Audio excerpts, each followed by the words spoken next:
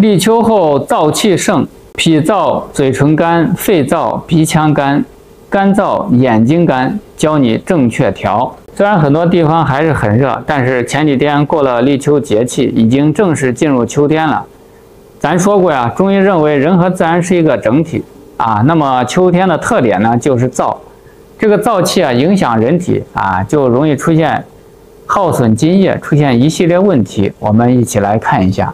首先，脾燥嘴唇干，最明显的啊，是有很多孩子呀，一到秋天老是舔嘴唇，舔的一圈啊都是黑印子啊。中医说呀，脾开窍于口，起滑在唇。这种人呢，就是脾的津液不足了，多还会有胃胀、胃里隐隐约约不舒服，知道饿但是不想吃饭、大便干燥等症状。这种人呢，可以参考一个沙参麦冬汤来补益津液。然后是肺燥、鼻腔干，这种情况其实很常见啊，一到秋天啊，就感觉鼻子干、口干啊。中医说呀，肺开窍于鼻。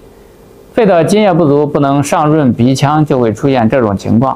多还会有口干、想喝水、干咳少痰，甚至是发热等问题啊。这种人啊，桑杏汤就比较合适。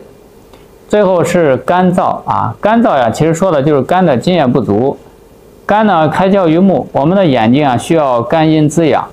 肝的津液不足，眼睛缺乏滋润。